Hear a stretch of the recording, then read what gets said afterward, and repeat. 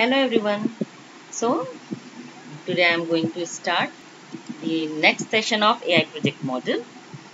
This is the second session for class 10th and today I am going to tell you about data modeling, sorry AI modeling. The last lecture ends with the ended with the data exploration, the visualization of data. I just want to recap it.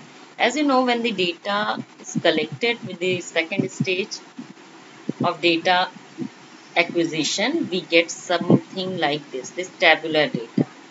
And if we will convert it in visual form we will get this graphical type of data. It is not very clear but something like this we get out of stage 3 data exploration. After data exploration you can get you different type of visualization like this. This is the knowledge graph or you can say relationship diagram between different entities. This is also an example of visualization of data this flowchart is another example of data through which you can show any process, relationship between the different steps of a process and this plotting diagram can give you the visualization of any continuous data.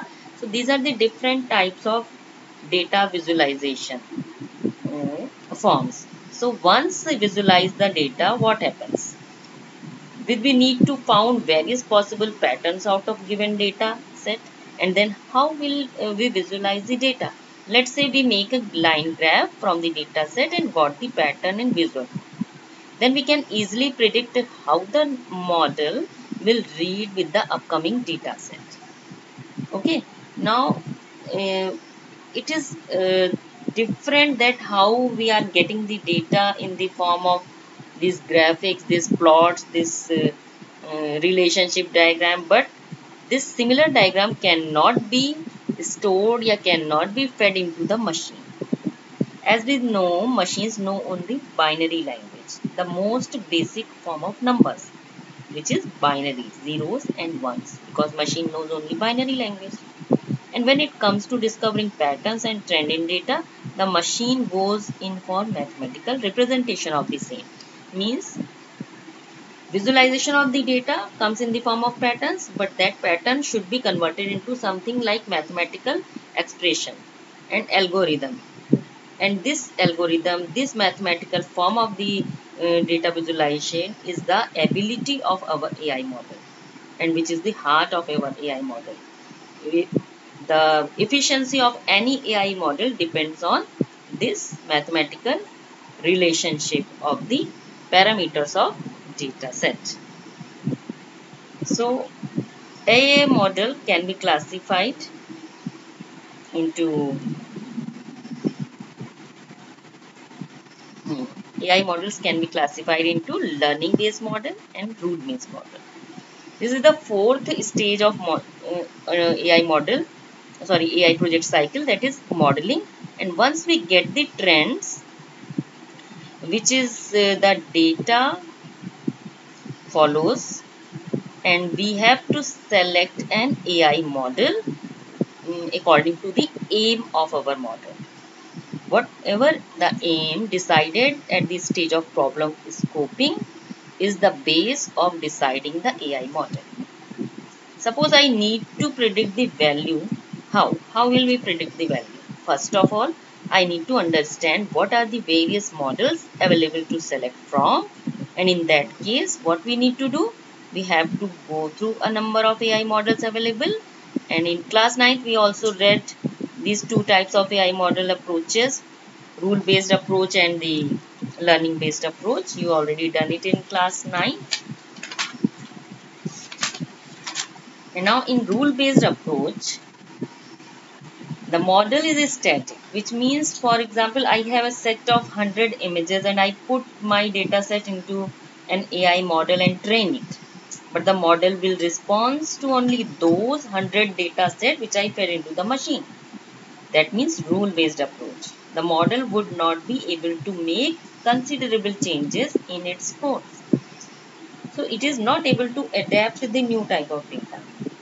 I'm uh, giving you an example. Uh, first, let's see what the rule-based approach is. Rule-based approach refers to the AI modeling where the rules are defined by the developers and the machine follows the rules or instructions means mentioned by the developer as it is and perform its task accordingly. Means there is no change. Whatever is decided in the AI model will not be changed for the whole uh, process of AI project cycle. We have given I have given you an example of chatbot activity. In this you have uh, made conversation with these chatbots and you have found that few of these chatbots are actually um, uh, rule based it means whatever you are asking is totally rule based giving the uh, totally rule based answer as you are doing in inquiry system and gas booking and uh, recharging.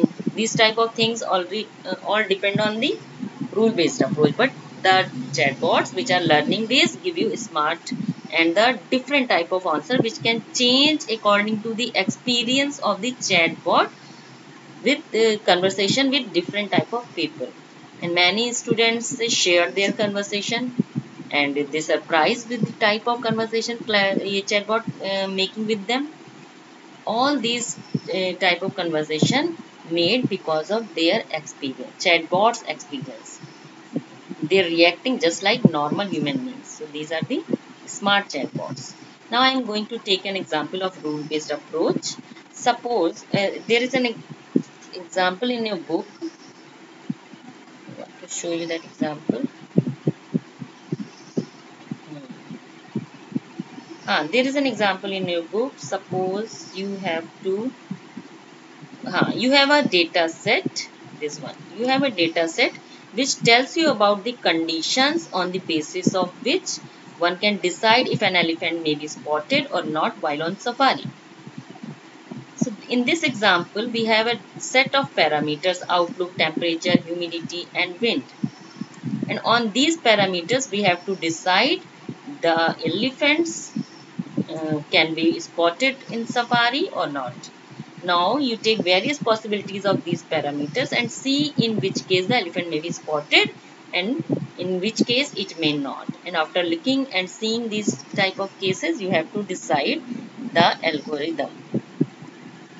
So example is you have a data set which tell you about the conditions on the basis of which one can decide if the elephant may be spotted or not while on safari. The parameters are outlook, temperature, humidity and wind. Now you take various possibilities of these parameters and see in which case the elephant may be spotted and in which case it may not. So this is the data set. Now see 1, 2, 3, 4, 5. There are 5 parameters. Outlook may be sunny, overcast and rain. There are 3 possibilities with outlook and there are 3 possibilities with temperature. It may hot, it may mild, it may cool. And there are 2 possibilities with humidity. It may high, it may normal. And there are 2 possibilities with wind. It may weak and strong. And on all the combination of these parameters you, we can get the result of elephant is spotted yes or no. Maybe any of these parameter may affect the decision of this uh, data set or may not. Now you how you will get the algorithm. The process of making that algorithm is first pick the best attribute and feature. Best attribute or feature means the best suited attribute which can give you the quick and correct result. In this case, you can see if the outlook is overcast, this one.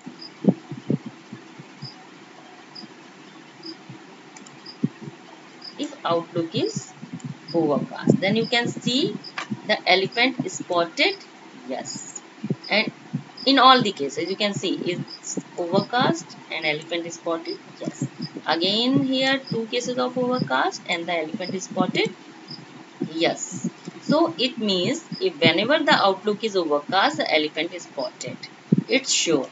So you can make it in your decision tree, the visualization of the data that outlook is having three possibilities, sunny, overcast and rainy. But if it is overcast, it's sure that the elephant is spotted. Yes.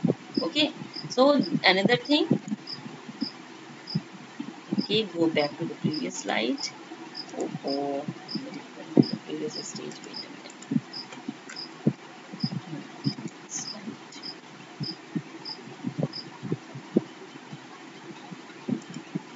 So see the another case. Now if uh, outlook is sunny and if it is rainy. Now two cases left. What, what is happening with sunny? Is the temperature affecting the sunny uh, outlook or not? Now check if the temperature is hot in the case of sunny outlook and if the temperature is cool in the case of sunny outlook. This one and this one. In both the cases outlook is sunny and temperature is in first case hot and in second case cool. But the result is huh, yes. When the sunny outlook and the temperature is out the result is no. And when the outlook is sunny and temperature is cool the result is yes. Okay? So here temperature is I think affecting but it's not sure. We have to check another example that sunny the second example the sunny outlook temperature hot but it is yes again it is showing elephant is spotted no. Another example this one the outlook is sunny oh one more possibility temperature is mild and elephant is spotted yes. In cool it is yes in mild it is yes so in two cases it is yes. So i think this temperature parameter is not affecting a lot you can check another parameter again. This humidity. Hmm. now in case of humidity there are two possibilities high and normal. If outlook is sunny humidity is high. In all the cases check this sunny high sunny high. Again one more no. In all the cases of sunny outlook high humidity elephant is spotted no and the cases when the outlook is sunny and humidity is normal then the elephant is spotted yes so this way we have to find all the possibilities and we have to make this decision. You can do it yourself. It may take time but you can make these type of decision trees for visualizing the data. You can try yourself and you can check the result. Okay, so similarly the rainy, this parameter is also affecting. If the outlook is rainy and the wind is strong then no spotting if wind is weak then yes so this is the whole decision tree which we will get from this data set now if we have get this data set and after that visualization of the data then we have to make the model so for uh, modeling we have to first train the machine after looking through uh, all the cases we feed this data into the machine along with the rules decision tree ने क्या दिया decision trees help uh, tree help you to make the rules and when these rules and the data you fed into the machine then it uh, machine will give the possibilities the machine trains on this data and now it is ready to test it now this is an example of testing data the outlook is overcast temperature is normal humidity is normal and wind is weak now you have to test this data and try and tell me the prediction. Elephant is spotted or not. This is very, very, very easy example. You can try it once. Okay. Now check. The first parameter is outlook. It is overcast. Now go to the previous slide where we have uh, the decision tree. Go to this slide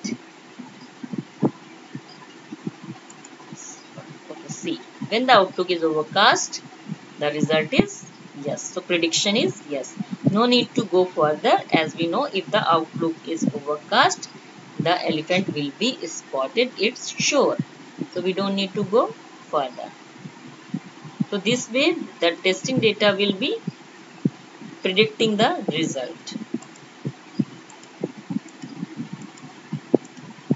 so no need to Consider these three parameters. We got the result just with this one testing data, one parameter of the testing data. On the basis of this testing data set, now the machine will predict if the elephant has been spotted before or not and will display the prediction to us. Yes, we have got the result. Elephant will be spotted. So this rule based approach, uh, this is known as rule based approach because we fed the data along with rules to the machine and the machine after getting trained on them is now able to predict answers for the same. Rules are given and machine get the training and then it can predict the answer on the basis of the rules. The drawback of rule-based approach is that it is static. The learning is static. If some changes in the behavior or pattern happen, then the rules uh, which we fed in the machine cannot change. That's why the rule-based approach is static. static. Example, you have 100 images, a set of 100, 100 images and uh, I have put some data in the machine and trained it. But the model will respond to only those 100 data set, those 100 images which I fed into the machine. That means rule-based approach would not be able to make considerable changes in its code and to be able to adapt the new type of data which comes suppose हमने अभी दिया ना overcast में कुछ आपने parameter दिए and if there is any other parameter added then machine will not take this and not consider this it is not dynamic it is totally static it is not surely it is not feed giving the feedback taking the feedback no feedback taking never going to give any new come up new taken up data so this is totally static. It is its drawback. Few more things I want to mention here. The machine once trained does not take into consideration any changes made in the original training data set. If some behavior changes, then we cannot make any change in original data set. That is, if we try testing the machine on a data set which is different from the rules.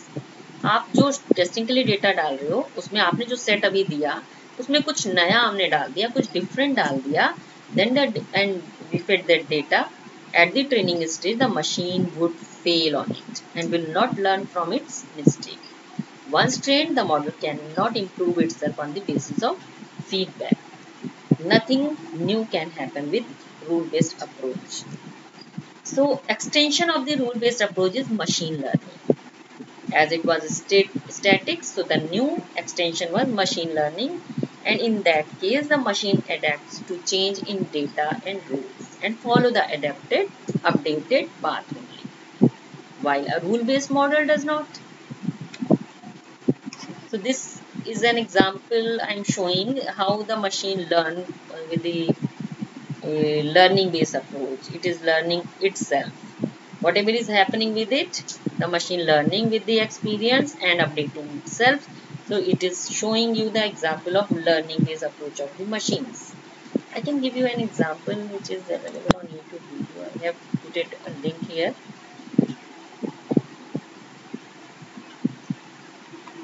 This is an example of racing game which is totally AI based learning based approach.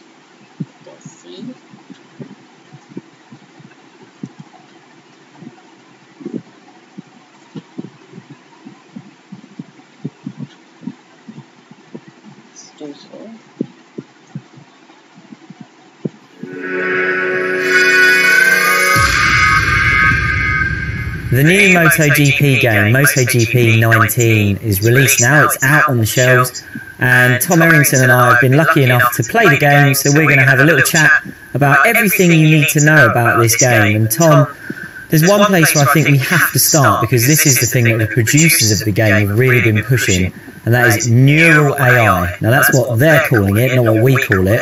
But AI is always a big topic in racing games, it can be very difficult to get it right. What have Milestone done this time with MotoGP 19? Yeah, I mean, NeuroAI sounds like something Skynet would produce, but kind of a little bit like that. It's a medical company primarily, and a, a scientific company that has this AI that they've used over a very long time, developed it. And for the first time ever, this company, Orobix, has worked with Milestone to create an AI for the game. And the difference with this one is it's not an AI that has been programmed to do a certain thing in this certain situation or react to the player the player makes a difference to the arrow. In this case, they drop uh, a rider in the game and they give it no instructions whatsoever, so it goes off and learns. So the video I got showed was very funny around Austin, where it was jump starting, struggling, wobbling, hitting walls, and all sorts. And every time it did something, they would give it, uh, say, a minus 10 for that's not what you should do, plus 10 if that's what you should do. And over the time, through many, many simulations, I was told numbers like 30,000, 50,000 times, it would get better and more intelligent. Eventually, you'd go from that shaky, struggling to stay on a bike to a great racing line, high speed, and being really competitive. And then because you can't really predict what it's going to be like in a pack race, they would make the race start at different corners at each track so you get an idea of what it would be like if 20 riders went through this corner, how it should behave, how it should react. And we both said it, and when we've played it so far, you can really notice how different that AI feels compared to any other racing game, really. So it's not about really the AI learning how to race you as the human player. The, the AI is, is doing its own thing, and it just so happens that you end up on track with them as if effectively you're racing a bunch of real world opponents. Yeah, it's very much a realistic thing of if you were to start riding a powerful bike today, you'd be terrible at first, you'd learn to get better and better, and you'd learn independently, and then try and apply that in real situations that arise to you. It's, it's very much authentic. Now, that's the big selling point, I think, of this game, and it has been interesting to play it so far and see that to have AI that's fallible is very interesting. They do make interesting overtaking manoeuvres, but they also make interesting mistakes. So that's that's all good fun. And another. So you can see that uh, this game is showing you the just like human being behavior, the model, the object, which is uh, means the biker. It is totally learning as we normal human being learning. The mistakes will give it uh, negative remark, negative regard, sorry, negative score or tokens and the correct things will give it uh, scores positive tokens. So with this positive and negative tokens the uh, biker learns. Similarly we are doing in our real life. This is an example of learning based approach of AI model. So the learning based approach is again of three types supervised learning unsupervised learning and reinforcement learning. In this is a brief introduction of these three approaches are given in supervised learning. Determine the, uh, the AI model determine the relationship through training. In unsupervised learning, discover new patterns without any uh, supervised training and reinforcement learning learns by rewarding action. This is the example of the game which I have shown just now. Uh, the game was uh, based on this reinforcement learning based approach where the machine is get, giving the rewards for the good action correct action and giving the negative tokens for the for the wrong one. You have all played such type of games where you are getting the negative scores and positive scores for the uh, right and wrong actions. So this type of learning is reinforcement learning. Now the two another type is supervised learning and unsupervised learning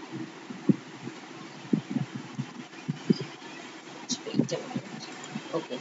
Now the learning based approach refers to this is the definition you can say learning based approach refers to the ai modeling where the machine learns by itself. See the machine is learning. Machine is uh, to taking the action it is getting the reward. And the reward frequency give the uh, experience that what it is doing right or wrong thing. This way it is learning so this is the learning based approach. Now ai model gets trained on the data fed to it whatever actions actions we are taken with the data uh, taken with the machine means uh, whatever data you are feeding in the machine give the training to the ai model and then ai model is able to design a model a algorithm which is adaptive to the change in it. Means a model modify itself with the training of the data. This is the learning based approach.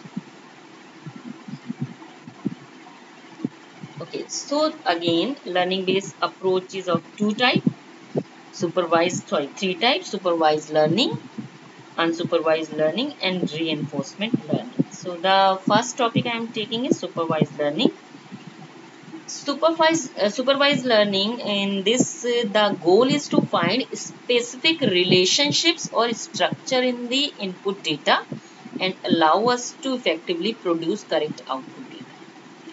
Suppose uh, in supervised learning model the data set which is fed to the machine is labeled.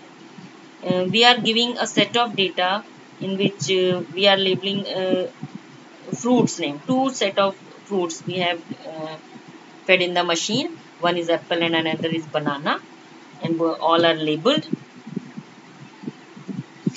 And if I will give the training and after training if I will give the testing data which is any random pattern any random image let's see orange then the machine will supervise it supervise it and find the uh, probability of the two uh, labeled data set which fed in the, into the machine which is similar to this uh, new uh, testing data. So orange will get the probability of apple. So it will give the result apple. So this is supervised learning where we give the labeled data inside the machine and algorithms predict the output from the input data which we have inserted in the machine with the label. So within this algorithm we can classify the data means uh, apple and banana this is the classification and we can uh, do the regression. Means uh, we can create class see this here. Here if data set is inserted in the machine fed in the machine the machine can check the algorithm run the algorithm on the basis of rules fed into the machine and classify it in two groups. And if I'm giving you the example of this apple and banana see few images of apple fed into the machine in the data set and few images of banana uh, fed into the machine. All are labeled all are labeled. All bananas are labeled as banana and apple are labeled as apple. And then machine get training with this data set. And after this the machine can give you the result here it is showing the example of rule based but I am giving you the same data set example if we are giving the random data testing data as orange the machine can find the uh, similar type of set, uh, similar type of image from these two data set uh, तो orange है तो आपको क्या लगता है orange बनाना तो predict कर नहीं सकता so machine will give you the result apple this is the classification type of uh, approach and the, another is regression in regression machine will uh, check the relationship between the entities कौन सा बहुत करीब मतलब करीब का relationship लग रहा है इस ऑब्जेक्ट का वो वो रिज़ल्ट दे देगा so next is unsupervised learning in unsupervised learning model works on unlabeled dataset. There is no labeling. The dataset is totally unlabeled. This, this means that the data which is fed into the machine is random and there is a possibility that the person who is training the model does not have any information regarding it. It's totally random data and the unsupervised learning models are used to identify relationships, patterns and trends out of the data which is fed into it. It helps the user in understanding what the data is about and what are the major features identified by the machine by machine in it. For example, you have a random data of 100 dogs in images and you uh, wish to understand some pattern out of it. You would feed, feed this data into supervised learning model and would train the machine of, on it. After training, the machine would come up with pattern which it uh, was able to identify out of it. The machine might come up in, uh, with a pattern which are already known to the user like color or it might even came up with something very unusual like size of the dogs the shape of the ears, the uh, hair on the body, anything. And on any of the feature, it will give you the result. It is exactly is showing you the result of clustering. There are again two type of uh, modeling, clustering and dimensionality redu reduction. So, I am giving the example of clustering. So clustering refers to the unsupervised learning algorithm which can cluster the unknown data according to the patterns or trend identified out of it. जैसे आप देखते हो ना आपके पास अगर कुछ stones हैं कुछ पिबल्स हैं तो आप देखोगे हाँ कुछ सॉर्ट आउट करते हैं, कुछ अच्छे से, चिकने से दिख रहे हैं स्मूथ से हैं, उनको अलग कर दिया और रफ से अलग कर दिया। There is no labelling but you are clustering it according to it similar features so the pattern observed might be the one which are known to the developer तो जो ऑब्ज़र्व कर रही है मशीन उसमें हो सकता है कि पैटर्न वो पहले से डेवलपर को पता था, जबकि उसने, उसमें फेड नहीं किया है। और maybe a unique pattern come out of it so this is the example of clustering. See there are a number of dogs. All images are mixed. Means all different types of dogs are there with different different features. And training data set uh, we are feeding in the machine is totally unlabeled. And after the this uh, training if you will give any uh, testing data it will give you the result in this any of these two forms. The first is showing the clustering. With known data here you can see the color uh, uh the size. And the next one you showing uh, the result with the color feature. So the clustering output based on patterns observed by the machine. First one is the example of based on size and next one is the example of based on color. As I have shown you this. Right here the clustering refers to the unsupervised learning algorithm which can cluster the unknown data according to the patterns or trend identified out of it. जो picture हम उसमें डाल रहे हैं उसमें से वो खुद वो फीचर सॉर्ट आउट करेगा on which feature it can sort out sort out the data and then create the clusters. So this is the example of unsupervised learning. The first category clustering. Now the dimensionality reduction dimensionality reduction uh, this the another approach of unsupervised learning. We humans are able to visualize up to three dimensions only. We know. We can visualize only three dimensions. But do you know there are a number of dimension available in different type of objects? Uh, huh. But according to a lot of theories and algorithms, there are various entities which exist beyond three dimensions. You can see the picture. Can you decide how many dimensions are there? No. We cannot uh, uh, visualize this. There are a number of dimensions in this image.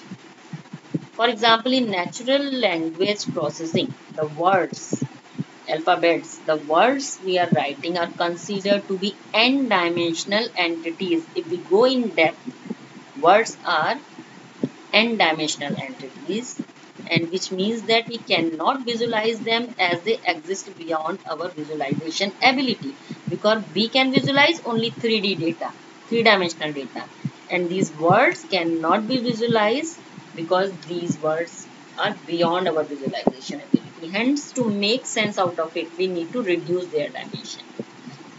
So, how to reduce the dimension and what will happen if we will reduce the dimension?